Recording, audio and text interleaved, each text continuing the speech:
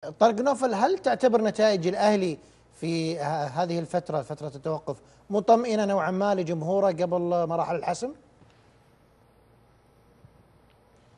شوف صعب إنك تحكم على أي فريق في في الوديات. يعني لا يمكن أقول إن الهلال خلاص الآن أقول لك إنه حسم كل شيء بسبب إنه نتائجه كلها إيجابية في فترة التوقف في الوديات التوقف اطلاقا. ولا يمكن أن أقول إن الشباب سيقدم اسوء اسوء النتائج لأنه آه، نتائجه في الوديه لم تكن لم تكن يعني إيجابية أو كذلك الاتحاد إنه لم يحقق انتصارات في الوديه. آه، الودية أصلا لازم نفهمها إنها عملية تج- تجربة وتجربة أكثر من اسم، تجربة طريقة طريقة معينة، أعتقد إنه الودية الأخيرة هذه ودية الديربيات أنا أشوف إنها خاصة مع الاهتمام بإغلاق كل شيء أعتقد ان ان هي البروفة الأخيرة للمواجهات الأخيرة للفرق المشاركة. آه نعم أنا أول شيء أحيي إدارتي الاتحاد والأهلي و...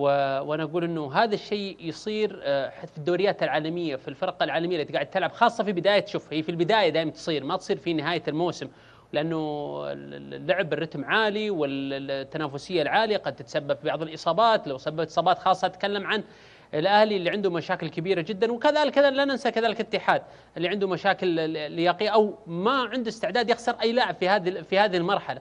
إذا تحدثنا عن الأهلي وال- والاتحاد. الأهلي ابتداء الأهلي أنا متفائل جدا إنه لن يهبط.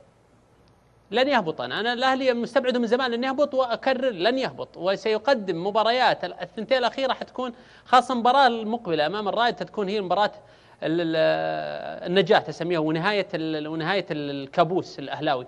أتحدث عن الاتحاد الاتحاد مهما قدم من مستويات سيئة أو ما لم يحقق انتصارات لكن أنا متفائل انه إنه وجه الاتحاد حيكون أفضل بكثير من قبل التوقف.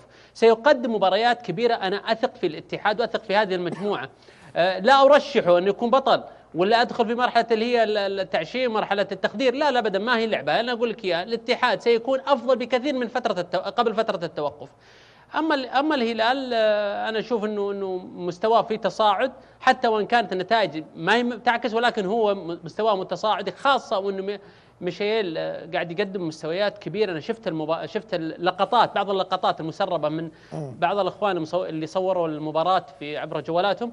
شفت أنا لقطات ميشيل ما هو طبيعي ابدا كان في المباراة. آه تحدثنا عن الجانب الشبابي آه اللي اللي أنا أشوف إنه قدم مستوى جيد نوعا ما ولكن نقطة الاستفهام أو علامة الاستفهام الكبيرة كانت في حراسة المرمى. كان نتائج الفترة الأخيرة في نتائج في أهداف كثيرة تسجل المرمى. في مستوى مستوى فواز القرني مستوى ما هو المستوى السابق اللي أول ما جاء من الاتحاد مستوى هابط بكثير لدرجة إنه ال- ال- ال- الجمهور الشبابي المدرج الشبابي الآن بدأ يصرح علانية إنه إذا كان هذا مستوى فواز فالأفضل أن يتم أن يتم جلب اللاعب الثامن الأجنبي يكون حارس مرمى. يعني مو هو نفس الحارس اللي كانوا الشبابين يمتدحونه في أول ثمان جولات؟ أي بالنهاية الإنسان ما هو آلة أبو لطيفة. وكمان ال- الإنسان, الإنسان الحارس يعني أنا ما دافع أنا ما دافع عن فواز لكن أنا دافع عن حاله أبو محمد. ال- الحارس كم مدافع جاء قدامه وكم لاعب تغير من اليمين لليسار خلال المباريات الماضية؟ كم مرة المحور انداي يلعب ما أتفق يلعب؟ معك على أنه أهم أهم آه لا قبل أهم أهم شيء في الدفاع إنه الحارس واللي قدامه اثنين مدافعين اثنين يكونوا مستمرين. ومتواجدين بشكل كامل. يعني أنا أتحدث على أنه الفترة الشتوية عندما كان ال- الشباب أحمد شراحيلي و آه، إيغور. ايجور آه مع الحارس كان ايجور نعم ايجور كان آه شباب دفاعه متين لأنه خلاص تفاهموا. كل واحد يعرف عيوب الثاني يعرف متى هذا آه، وش نقاط الضعف وش نقاط القوة في زميله. فكانوا كمجموعة مكملين بعضهم. لكن مثل ما ذكرت إنه إنه إنه كثرة التغيير تؤثر على ال- ال- المنظومة الدفاعية اللي هي ممثلة كذلك بالحارس اللي من ضمنهم. لكن في النهاية أتكلم على إنه آه، فواز آه، الآن في مستوى في مستواه هبط شوي.